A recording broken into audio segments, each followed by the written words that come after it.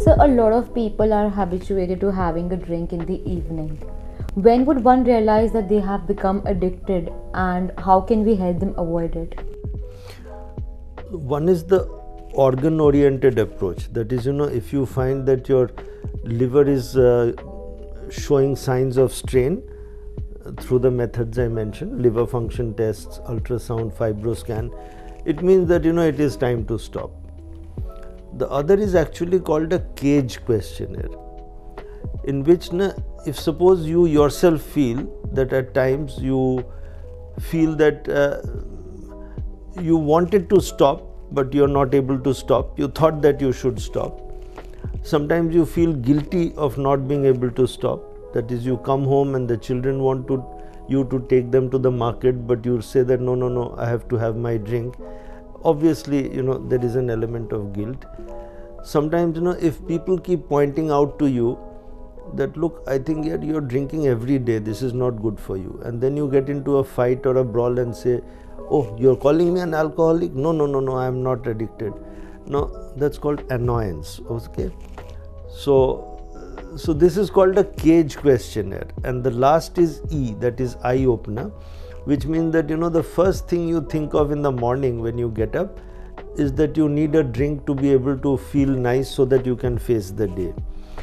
Now these are some of the things which should make yourself or you realize that look it's time that you talk to a therapist or you took a bit of help because things are not going too well. You yourself, in a way, realize it, but you're not willing to face it. So, these are, I would say, more social psychological parameters.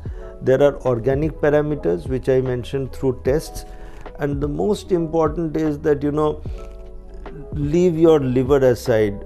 You mentioned a while ago, Anshika, quite a few people die because of road traffic accidents relate they die due to violence.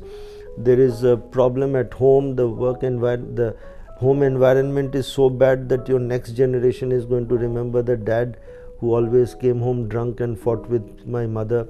So you know there are a lot of consequences of alcohol and i think that if any of them come to the fore a sensible person should think that look this is becoming too much of a problem and I should better give it up. So, personal perspective and psychological and social issues affect one's consumption of and alcohol. no harm in going to a therapist and taking his view that do you think that I should continue this way or not. See, one of the problems with alcohol, I'll tell you, uh, people start off many a times thinking that it's just a little social habit and I'll do it maybe once in two weeks, and then you know the parties become a little more frequent, then it becomes daily. And I get a lot of patients now who would come and say, No, no, no, I'm not addicted. You know, I give it up for those nine days of Navratri.